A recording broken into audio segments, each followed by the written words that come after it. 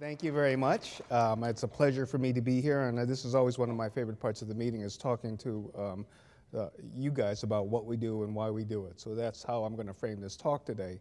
Now, I think to understand uh, breast cancer treatments and where we are today, I think we need to say a few words about where we have been. I think we all understand that things are getting better. Breast cancer mortality has been decreasing since the 1990s. Um, and I'm a bit, little bit embarrassed to say this standing on a stage with a surgeon, but I think the surgeons will recognize the fact that improved surgical techniques have improved quality of life, but really have not improved quantity of life. And I think that's an important thing to recognize. Uh, and we also understand that improvements in outcomes have been due to population-wide screening mammograms uh, and improved medical therapies for breast cancer. So I'm going to speak mostly about improved medical therapies for breast cancer. I do want to comment that most of our new therapies have been evaluated first in women with advanced breast cancer, and that's been a big plus. Uh, and I'll try to explain to you why I think it's a little bit difficult to continue with that current model in trying to improve the overall outcomes for all women with breast cancer. So just a word about why I said that, um, that improvements are due to population-wide screening mammography and improved medical therapies. This comes from a uh, model that uh, Don Berry, a biostatistician, put together several years ago, uh, and it demonstrated in his model what would have happened to breast cancer uh, mortality if we didn't do any screening or adjuvant therapy, if we did screening only, if we did adjuvant therapy, uh, which is medical therapy after surgery, or both uh, together. And the both together currently models trends. Uh, I think you know the next big session, the plenary session today, will be harms done by screening mammography. So I think it'll be a very interesting topic because it's completely relevant to this particular curve. I think that anytime we do a screening procedure, there's always risks, as there's always risks for any therapy we do. But just to comment, I'm going to spend most of the time now on how we've improved the medical therapy for breast cancer. So I want to start with kind of how I was raised in terms of treating breast cancer. So a woman has surgery, we then understand the fact that we need to treat micrometastatic disease and we give chemotherapy. So this is a trial that was published by Dr. Henderson now 10 years ago that established the use, oops, I'm sorry, of paclitaxel in uh, treatment of breast cancer. So this was a very simple trial. Women after their surgery were assigned to receive adriamycin and Cytoxan, or adriamycin, Cytoxan, and plus surgery. So that demonstrates the difference. And now, as you know, paclitaxel, AC paclitaxel is in many uh, uh, areas the standard of care. But I think there's some obvious things about this graph that um, concern, should concern all of us. First one is the number of women uh, it took to volunteer for this trial to have this result. Uh, so almost uh, over 3,000 women were enrolled in this trial to demonstrate the difference. The second thing is how long it took to have this report. Uh, um, in some ways, how long it took to have this report come out is a good thing because obviously most women do well with uh, surgical management of breast cancer. But on the other hand, to demonstrate the difference, it takes a long time. And the difference is not as substantial as anybody would have liked. So even though paclitaxel added to the chemotherapy chemotherapies improved over uh, no paclitaxel, there are still two problems with that.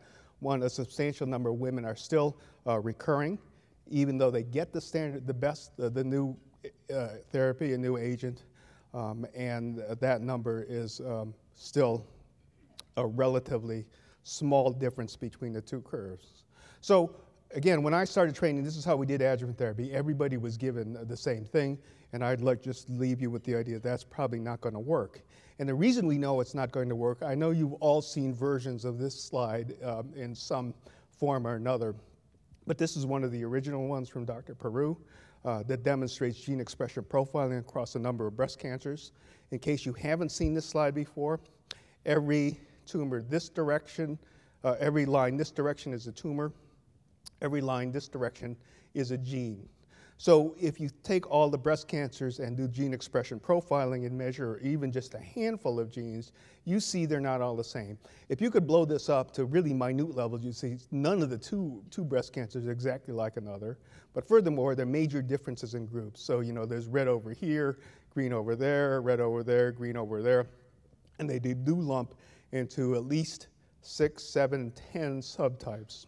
So if you think about it, how in the world could a single therapy benefit every single subtype? And that's really where our challenge is today. I think if you take anything from the rest of the meeting, that's going to be how many of the talks are dis discussed, is really what are the important key molecular phenotypes and clinical phenotypes of breast cancer, and then how do we address those risks. So it got more complicated since Dr. Perou outlined this particular scenario. This from, is from a relatively recent paper that further refine um, the uh, risk analysis. So this was a combination of gene expression profiling and gene copy number, but as you see the graph now, you separate this into many, many different subtypes. Some subtypes do reasonably well, some subtypes don't do so well and have an early risk of recurrence. It's extremely important, I think, to begin to recognize this heterogeneity. If you ask any clinician who's been practicing any length of time, they'll say, we have always recognized this heterogeneity. I think our challenge is how do we do something about it and how do we act on that? I wanted to start as a piece of history, uh, the first example of how we acted on this, and use this as a paradigm. This is a very heavy HER2 morning. You're going to see some results from neoadjuvant trials, uh, and I wanted to set this up just to, as a way to think about it. Uh, for those of you that haven't been to San Antonio before, the reason we're here is because of the late Bill McGuire.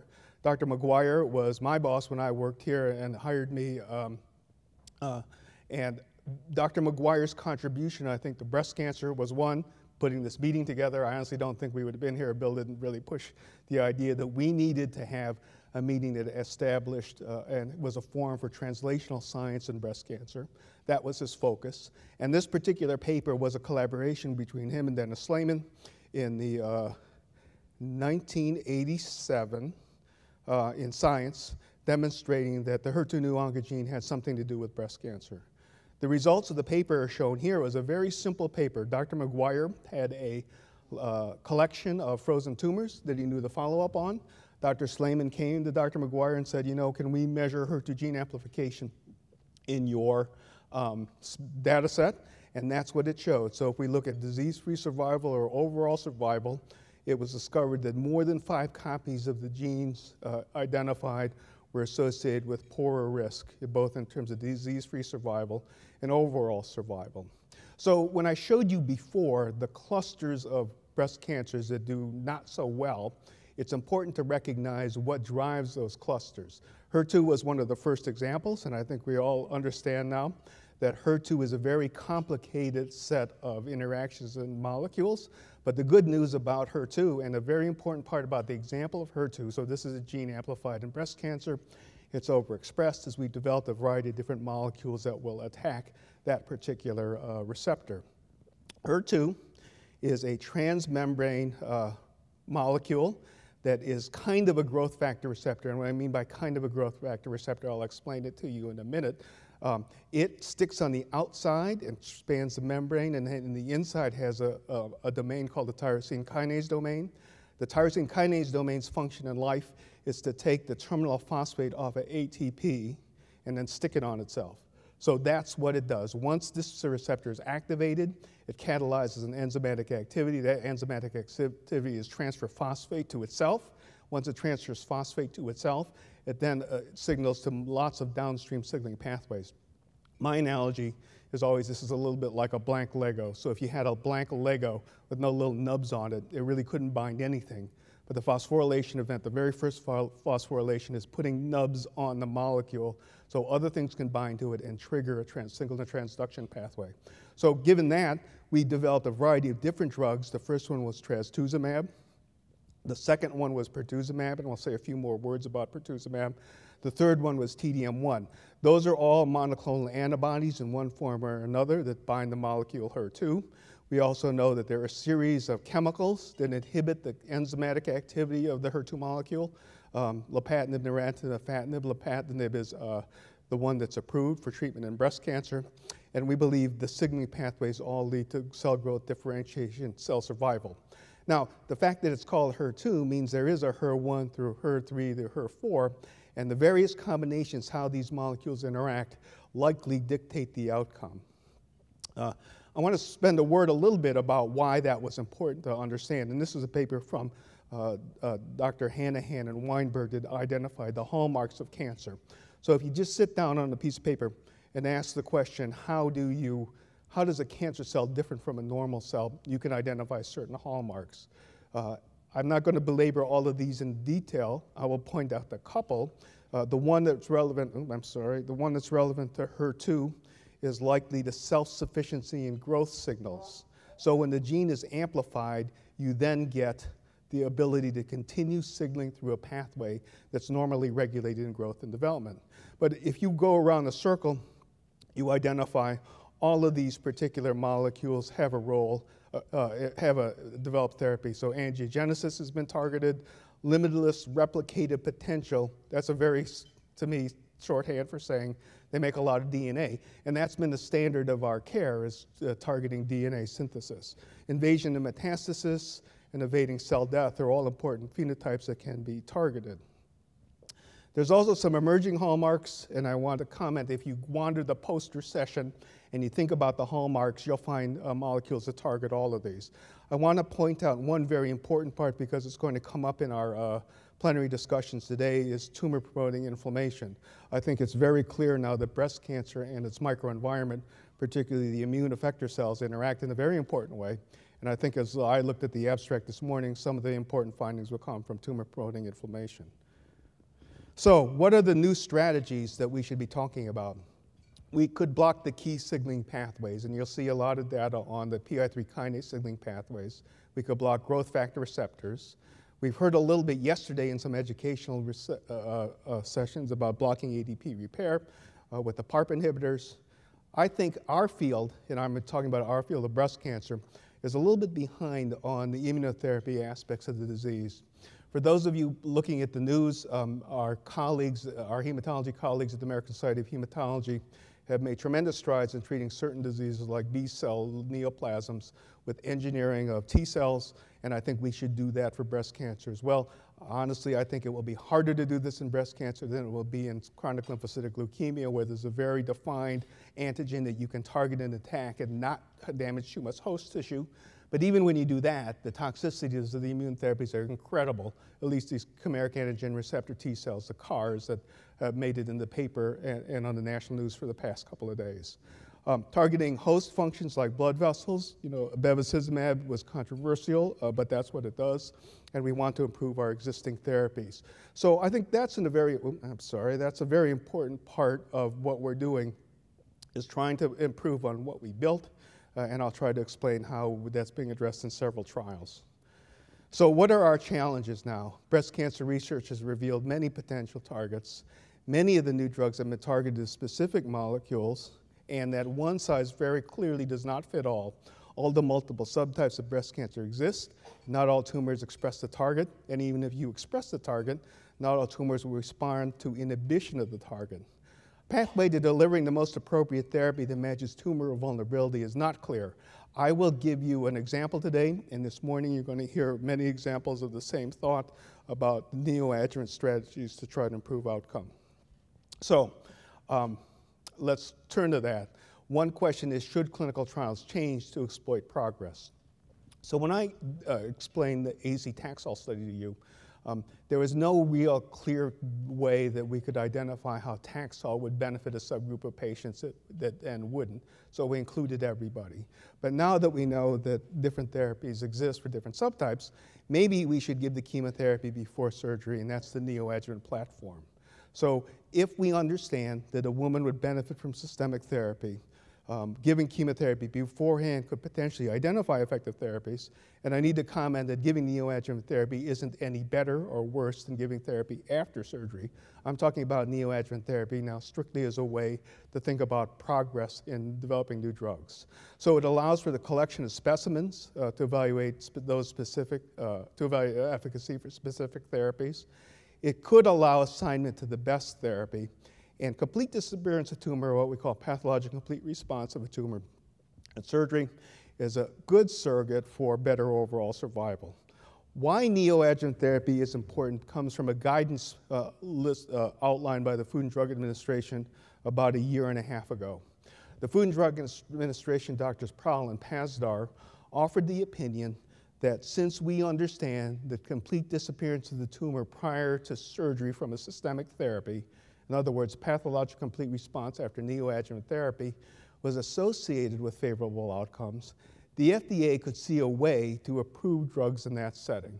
So that statement actually was very important for the breast cancer community because um, the way we've done it in the past is that we waited until the drugs demonstrated some efficacy and safety in, in the advanced breast cancer, which is important, and I think a very important thing to know that that will continue. But then it took a variety of different steps to move that particular drug forward in the adjuvant setting. So just think about it for a second.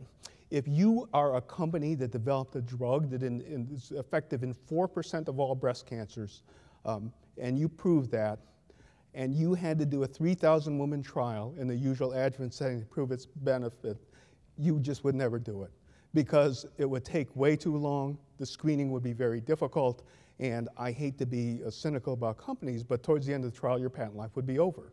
So there's no major incentive to do the actual surgical regular adjuvant therapy. But the neoadjuvant platform allows you a way to get some indication of the activity of a drug much sooner. So we'll come back to HER2 because this was the first test. As I mentioned to you, HER2 is a molecule that binds, sticks out the, uh, the membrane and crosses the membrane and has a tyrosine kinase domain. The drug trastuzumab has been approved for a long time and has changed the face of breast cancer, I think, in terms of how do we think about it and the outcome for women with HER2 positive diseases. Uh, at the same time, the drug pertuzumab was developed that binds a different portion of the HER2 molecule. So one thing pertuzumab does is keep it from interacting with its partners, HER1, 3, or 4, and that's a very different property than trastuzumab. So the trial that was testing uh, the ability of pertuzumab in the neoadjuvant setting was called NeoSphere. So NeoSphere enrolled 400 women, and I think it's important to note the number 400 HER2 positive breast cancer patients. So we already know HER2 was a marker um, and they had operable tumors more than two centimeters. So as a medical oncologist, this is a subset of women that we would recommend adjuvant therapy that would be Herceptin-based or trastuzumab-based. So there's no question if the woman opted not to be on the study and had surgery, we would recommend a, a trastuzumab-based therapy. So in the neoadjuvant setting, women could be assigned to the, the uh, taxane, docetaxel or Taxotere plus trastuzumab docetaxel plus the two antibodies, the two antibodies all by themselves, or docetaxel plus uh, pertuzumab, leaving out the trastuzumab. The results of the trial were shown here. Um, first off, I want to point out a couple of things. The numbers are fairly small. There were 100 patients roughly in each arm. Compare that to the 1,500 patients that were enrolled on the Taxol study. The second thing to point out is that there was a substantial benefit for pertuzumab plus trastuzumab plus docetaxel in achieving pathologic complete response rate. The pathologic complete response rate in those subset of women uh, that got the standard of care was about 22% as opposed to 40%. And even better, if you look at the subgroup of women, the study was not designed to test this, but this is a subset analysis of 30% for those women that were estrogen and progesterone receptor negative but HER2 positive, uh, and then 54% in those women that had both um, antibodies. So in September, this went before the Oncology Drug Advisory Committee, or ODAC, for recommendation. The question that was being asked was, can this product be used in combination with trastuzumab and docetaxel for the neoadjuvant treatment of patients with uh, HER2-positive breast cancer? I think you already know that pertuzumab is approved in the advanced setting. You may already know that there is a regular adjuvant trial using pertuzumab in postoperative setting. But this was a different question to the FDA is that can we get approval now for women with HER2 big HER2 positive tumors to use this drug? And the answer was they did approve that drug. It's a conditional approval. Um, the FDA was very clear about how they will regulate the progress of these trials. But nonetheless, it was, to me, was an important ideologic advance of how you bring a new drug forward. Um, I want to end a little bit with a trial that I've been involved with, uh, and Jane Perlmutter in the room also has been involved with the I-SPY 2 trial to really build on the neoadjuvant platform. The idea here is that women, with, again, with large tumors who you would recommend chemotherapy will get uh, screened. They'll get research MRIs and biopsies. They will then be assigned to the standard of care, which is weekly Taxol, or standard of care plus another agent. another biopsy three weeks into the trial and an MRI, another MRI, and another MRI. So the principle behind this trial is that we want to bring investigational agents forward in the early stage treatment of breast cancer, and we want to be able to test them in subsets where we uh, uh, uh obtain all the appropriate biomarker studies. So I'm a sub a co-chair of the agent selection committee. These are the drugs that are moving through. I'm not going to spend a lot of time on all the drugs, except to say the first results will be presented Friday of our, the PARP inhibitor veliparib. Uh, Hope Rugo will be presenting this from the platform Friday morning. It's veliparib carbo plus standard neoadjuvant therapy uh, from I-SPY 2. So uh, if you're interested in this topic, I would urge you to see that talk. Um, I want to talk about one thing I've been interested in for a long time, so I'm going to indulge me for just two or three minutes about a pathway I've been interested in, and it's a drug in the trial. So this is a drug, ganitumab. It's an inhibitor of the IGF receptor uh, receptor. The IGF receptor is important in normal growth and development. There have been many drugs that have come and already failed in this field. Uh, we have included in the I-SPY 2 trial because we haven't really tested it in this setting with chemotherapy. So just a second about uh, how I got interested in IGF-1 as a target. This was a paper that I published when I was a fellow a long time ago, showing that IGF-1 had a role in human breast cancer and that this particular drug blocks that pathway. I use this cartoon to explain to you what IGF-1 does. Um, every organism, flies, worms, dogs, fish, birds, have an IGF-1-like gene, and they, it causes normal growth. So this particular paper from Dr. Ostrander demonstrated that a polymorphism in the IGF-1 gene is the only gene, or the single most important gene in, in determining dog size. So uh, the, uh, this must be like a mini chihuahua, or this is smaller than a regular chihuahua, it has a gene polymorphism different than the um, uh, Great Dane. And that's the graph shown here. The body size correlates very well with the frequency of a normal IGF-1 gene. So IGF-1 genes are important for normal growth and development, and therefore they should be important for growth and development of a tumor. And that's really been where my research area has been. So I just want to show you an anecdotal story. This is a patient I took care of earlier this year. Um, she uh, was one of the young women who noticed a breast cancer while she was weaning her from her child. It turned out to be a fairly big tumor, two and a half centimeters. Her biopsy showed it was a high grade tumor. It was ER weakly positive, PR negative, and HER2 negative. I think every medical oncologist in the world would have suggested this woman should receive adjuvant therapy. She was willing to participate in I-SPY 2 and got assigned to the drug ganitumab. So this was her MRI prior to treatment, uh, now just about a year ago with a fairly large tumor. Um, at three weeks, her tumor was already getting smaller as detected by MRI.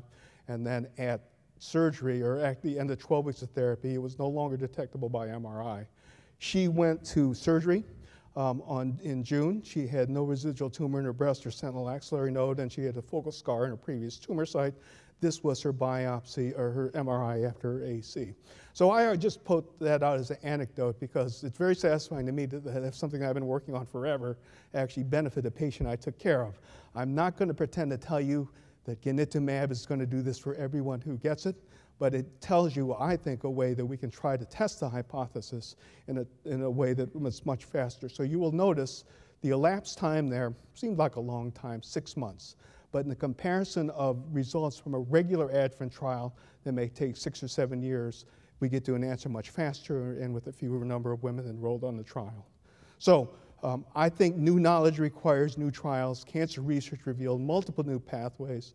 Most of the therapies will benefit a minority of patients with breast cancer. So again, I want to make sure I understand, emphasize that point. Some drugs may be completely effective in 2 to 5% of all breast cancer patients. And we need to understand uh, how to include those women on trials and gain that knowledge. I think business as usual, meaning we wait for the drug to be completely developed in the adjuvant setting, excuse me, in the advanced setting and apply that to standard adjuvant will impede progress. I know there's a level of controversy about the neoadjuvant platform and testing experimental therapeutics. I'd be happy to talk about that in the discussion section. And finally, I would argue that industry, regulatory agents, and patients uh, have to advocate for change for the way we're doing things as usual. So I'll then end there and yield the platform to Dr. Newman. I think we're going to